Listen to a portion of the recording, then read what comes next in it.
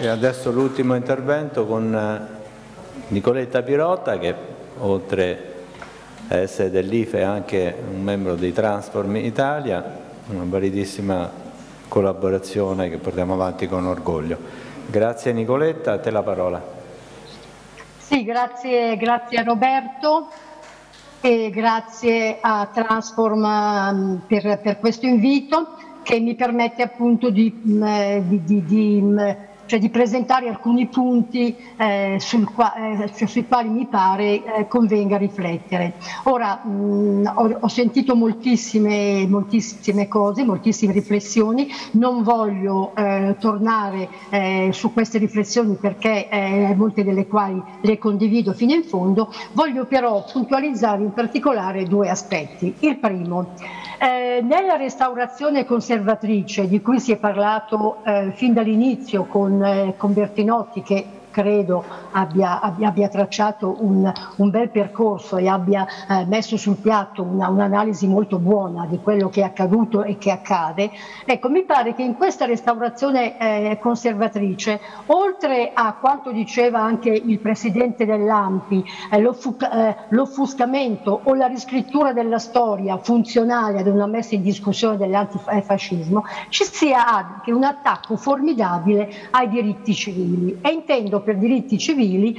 quelli che riguardano l'aborto, il divorzio, il corpo delle donne, insomma tutto quel, quel, quel, piano di, di, di, diritti. E lo dico per una ragione molto, eh, molto semplice ma che mi preme sottolineare. Vedete, eh, la Meloni non è soltanto donna di borgata, la Meloni è quella che precedentemente a diventare eh, Presidente del Consiglio è, è, divenuta Presidente del gruppo conservatore eh, europeo, è stata più volte negli Stati Uniti a parlare ai congressi e a eh, conferenze dei repubblicani, in particolare di quel gruppo che si chiama MAGA, ehm, che, che appunto è uno dei sostenitori di Trump, è un gruppo che fa del suprematismo bianco una, una ragione del suo essere, quindi Meloni è per così dire riferimento ed espressione di quel movimento composito internazionale che comprende fra l'altro anche il Congresso mondiale delle famiglie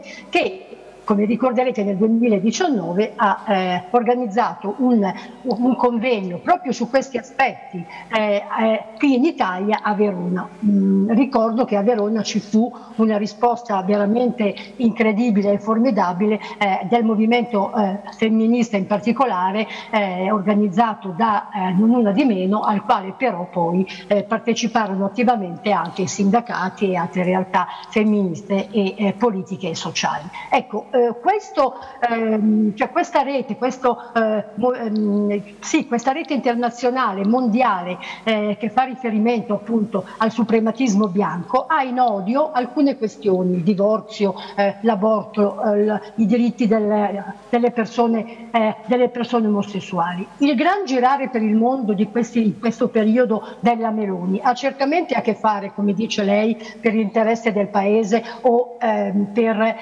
la questione questione dei migranti, ma credo che abbia molto a che fare anche con il consolidamento e l'ampliamento di questa rete internazionale suprematista, omofoba, razzista e misogina. Questo lo dico perché eh,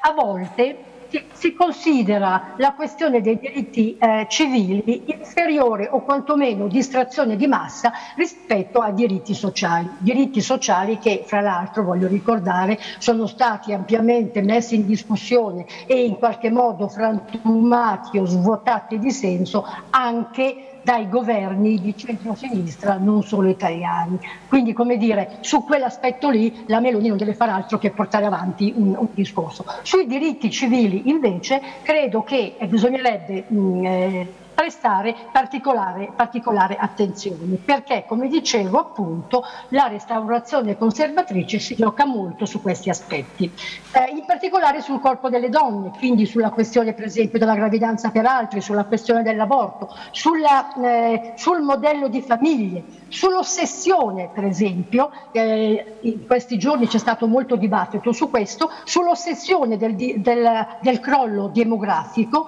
che per questa rete internazionale e mondiale ha, ha, molto a che vedere con il femminismo e con la libertà sessuale, un crollo demografico ovviamente eh, che eh, come dire, eh, vede, ehm, paventa una sostituzione etnica di cui ha parlato anche il, eh, uno dei ministri di questo governo, come a dire che la preoccupazione del governo riguarda anche e molto questi aspetti. Ehm, una restaurazione che ha come codice normativo e modello di sistema sociale eh, prendo, prendo, spunto da, dalla, dalle teorizzazioni di Monica Witting, una femminista materialista francese, come modello di sistema sociale l'eterosessualità. Cioè l'eterosessualità è modello sociale in quanto relazione di dominio degli uomini sulle donne, relazione di dominio che però diventa paradigmatica tematica anche per, eh, eh, cioè per altre relazioni. Se intendiamo in questo modo i diritti civili, ci rendiamo conto che essi stessi sono obiettivamente anticapitalisti, in quanto provano a minare, quantomeno, i sistemi di potere secolari che oggi conosciamo. Quindi, a mio avviso, e questo è il primo punto che volevo sottolineare, eh, non tenere insieme, non eh, eh, considerare l'intreccio fra eh, diritti sociali e diritti civili, specie oggi, specie in questo frangente storico, sociale ed economico, specie con questo governo, rischia di non far capire, se mi posso permettere, la portata reazionaria di questo governo accanto all'ossessione sul corpo delle donne, sulla, sul modello di famiglia, sull'omosessualità e, e, e, appunto i temi che ho provato a citare, vi è anche l'ossessione contro gli stranieri. Eh, l'ossessione quindi per le frontiere, l'ossessione quindi per... Eh, per i confini, per una patria che sia fondata sui legami di sangue. Non a caso il partito della Meloni si chiama appunto Fratelli eh, Fratelli d'Italia, una ossessione che espunge il diverso, che espunge lo straniero e quindi anche le questioni razziali diventano un elemento inscindibile dai diritti civili e dai diritti eh, eh, sociali su, sui quali appunto bisogna prestare la, la, la,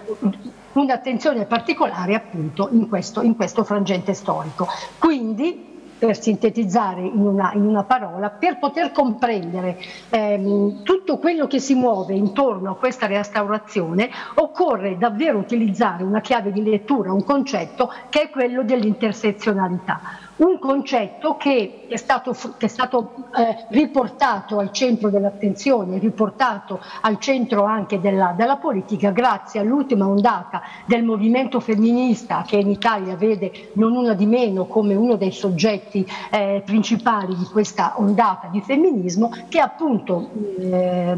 indicato come sia necessario tenere insieme nel, eh, nell'analisi del reale le questioni che riguardano la classe, che riguardano il genere, che riguardano la razza o la provenienza, se il termine razza vi infastidisce. Eh, questo credo che sia uno dei punti eh, essenziali e fondamentali. Il secondo punto invece riguarda il, il, il cosa fare, il, cosa fare è una parola grossa, perché credo che sia complicato nell'incertezza dell'oggi e del futuro avere una, una ricetta o comunque eh, avere una, una una proposta che sia sufficientemente capace eh, eh, eh, di mettere in discussione gli attuali rapporti di forza. Credo che però eh, se, se, noi partiamo per esempio dal concetto di intersezione possiamo già da lì trarre alcune indicazioni. Perché? Se non vogliamo che il concetto di intersezione rimanga nell'empireo delle idee, ma si tramuti in, in pratica, credo che allora una delle cose che andrebbero ehm, agite, secondo me, è ehm, l'intersezione fra le diverse lotte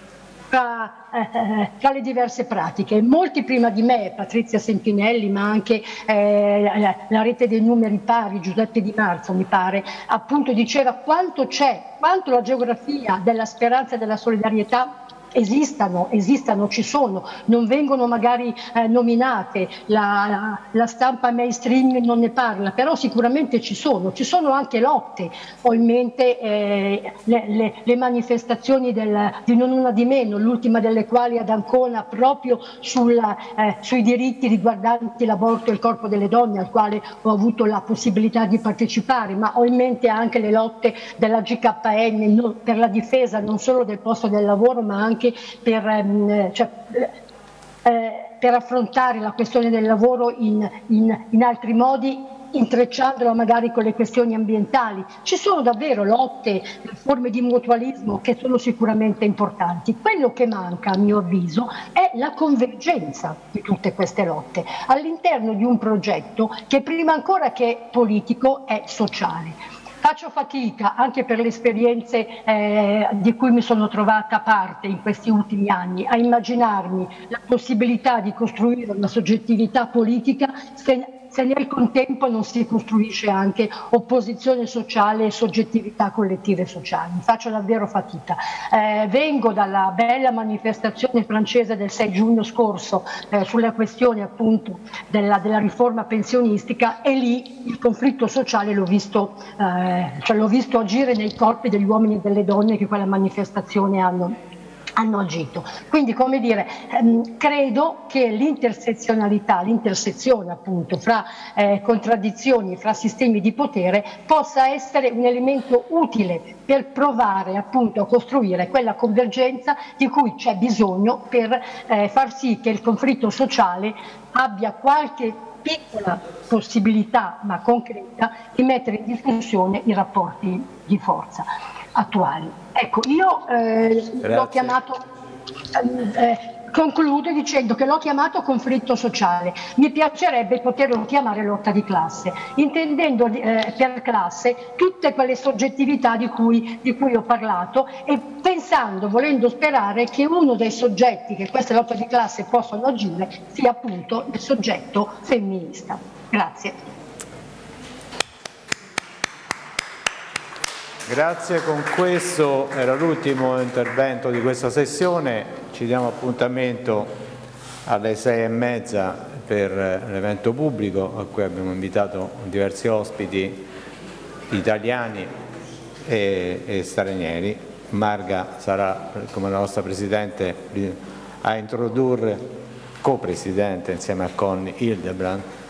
eh, la a introdurre la seconda sessione che inizierà alle sei e mezza, quindi tra poco più di un quarto d'ora. Grazie ancora a tutte e a tutti.